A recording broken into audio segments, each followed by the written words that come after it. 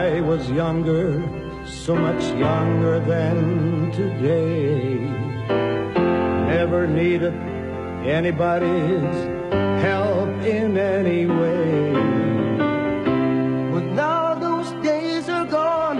I'm not so self-assured. Now we find we've changed our mind. We both been out the door.